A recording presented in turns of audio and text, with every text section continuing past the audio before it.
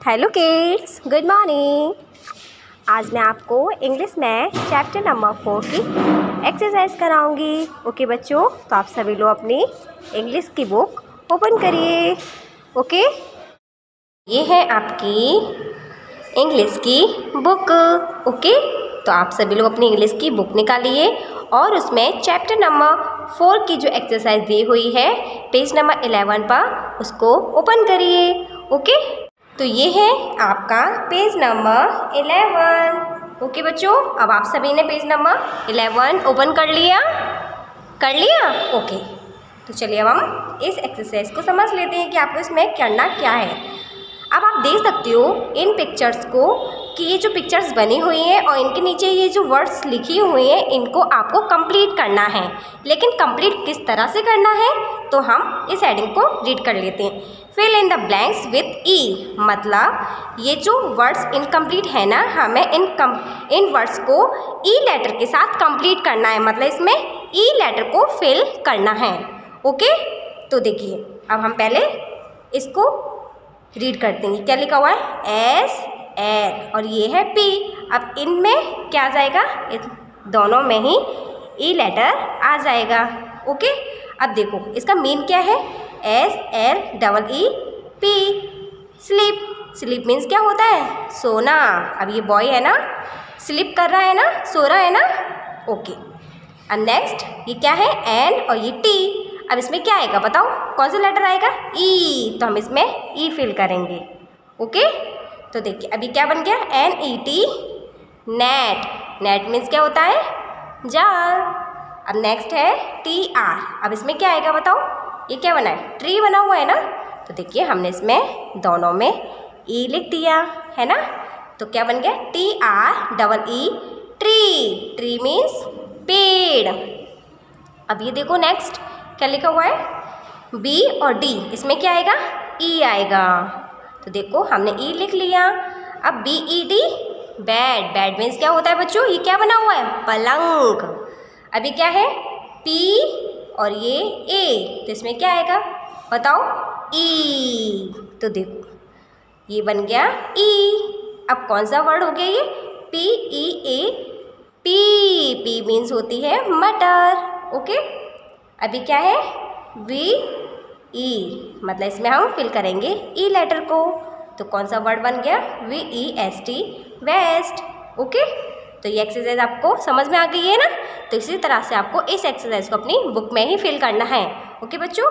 तो चलिए, अब हम नेक्स्ट एक्सरसाइज को समझ लेते कि नेक्स्ट एक्सरसाइज में आपको क्या करना है?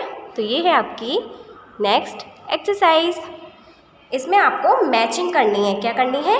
मैचिंग लेकिन किसके साथ मैचिंग करनी है?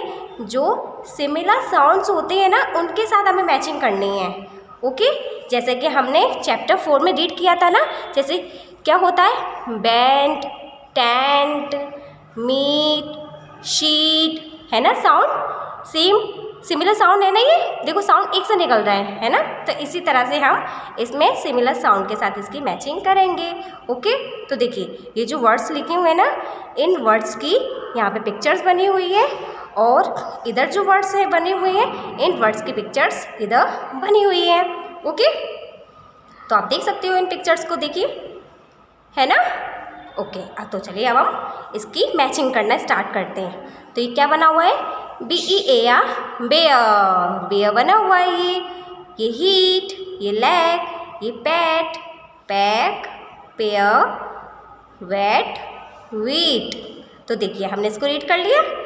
अब आपको साउंड भी पता चल गया होगा, लेकिन इसको हम समझ कर ही इसको करेंगे। ओके बच्चों? तो देखिए लिखा है बी ई ए आ बेयर अब देखिए बी ई ए आ बेयर अब इसका सिमिलर साउंड कौन सा होगा? तो रीड करते हैं। P E G peg P E A R pear मिल गया। देखो बेयर पेयर अब क्यों है? देखिए, पीछे की लेटर्स देखो। ई ए आर आ रहा है ना, और इसमें भी देखो ई ए आर आ रहा है। इसलिए, अब पीछे की लेटर्स इसमें थ्री जो लेटर्स हैं, और इसमें जो थ्री जो लेटर्स हैं सेम सेम है है ना? सेम है ना? तो इसलिए इसकी मैचिंग ये हो जाएगी बेयर की पेयर इसलिए ये बन गया सिमिलर साउंड बेयर का सिमिलर साउंड क्या हो गया? पेयर और पेयर का सिमिलर साउंड क्या हो गया? बेयर ओके अब नेक्स्ट है H E A T heat क्या है? हीट अब चलिए इसकी मैचिंग को ढूंढ लेते हैं। पैग मैच हो रहा है? नो क्यों? हीट पैग अलग है ना? अब इसको देखो, ये तो हो चुका।